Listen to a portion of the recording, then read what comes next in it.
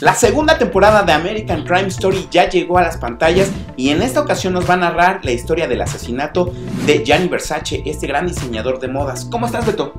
Muy bien, en esta ocasión los chicos de Fox nos invitaron a ver este primer capítulo en exclusiva y antes de su estreno mundial. ¿Qué te pareció? Me pareció muy interesante esta segunda temporada de la serie, ya que nos está dando pues justamente lo que queremos, historias de crimen. Ya lo habíamos visto en la primera temporada con The People vs. O.J. Simpson, la cual cosechó hasta 9 Emmys. Claro, en esa ocasión fue la sorpresa David Schwimmer, a quien ya teníamos encasillado un poco en este papel de Ross Geller en la serie de Friends. Y no hay que olvidar la actuación de Cuba Gooding Jr. como el mismísimo OJ. Exactamente, ahora el elenco de esta segunda temporada es encabezado por la hermosísima de Penélope Cruz, que interpreta a Donatella Versace, la hermana del diseñador.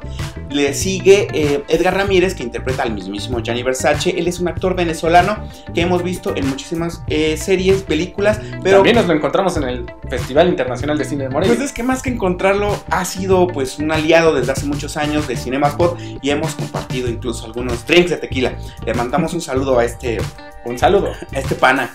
Y le sigue Ricky Martin. Ricky Martin, quien puede ser ubicado por como, como cantante, pero que ha sido actor. Él inició realizando telenovelas aquí en México, alcanzar una estrella, su papel pues más representativo en las telenovelas. Claro, para muchos no necesitaría representación, pero hay que recordar que él participó también en la serie de Hospital General y también en soundtracks de Disney, como El Jorobado de Notre Dame y Hércules. Así es, cerrando este elenco está eh, Darren Criss, a quien ubicamos en la serie de Glee. Él es el asesino serial.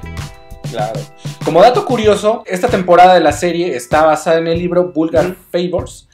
Y hay que recordar que es fantasía. Por ahí tuvo un roce con la familia Versace, que pues eh, no le daremos tanta importancia a nosotros. No le vamos a dar mucha importancia en realidad porque cada vez que se hace una película, una serie, una temporada, como es en este caso mm, un poco biográfica, pues los herederos de las familias siempre van a estar pues pensando en que no era la realidad así o si era la realidad, pues también pensando en cuidarse, ¿no? Claro. Esa es la realidad.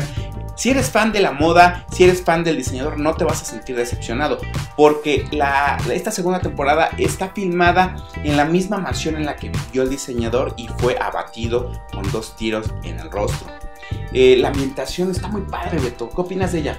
Claro, es muy acorde a la época, los carros, la tecnología, el vestuario. El vestuario, la marca tiene muchísima presencia. A pesar de que tuvieran estos roces con la familia, está muy presente la marca.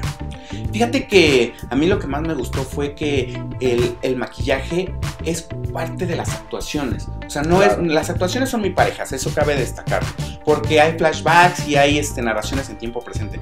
Pero esta caracterización, eh, el uso de prostéticos y de, peluca, pues le dan este toque de realismo a, a los personajes de Penélope y de Edgar Ramírez.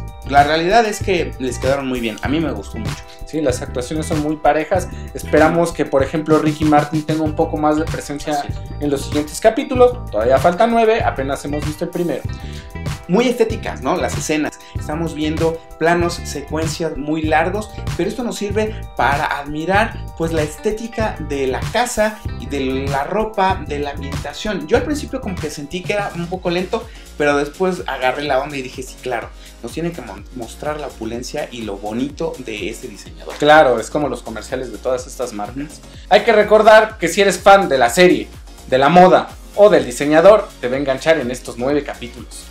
Hay que recordar que la serie se va a transmitir a través de FX y será cada semana, eh, será pasarán nueve semamas y esto es como se hacía antes, Beto, esperar una semana enganchado para ver el siguiente episodio de tu serie favorita. Claro, que no te la acabes en una noche y llegues todo desvelado al trabajo.